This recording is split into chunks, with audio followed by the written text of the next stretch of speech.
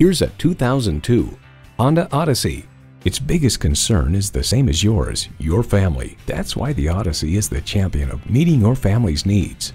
It boasts an impressive list of features like these.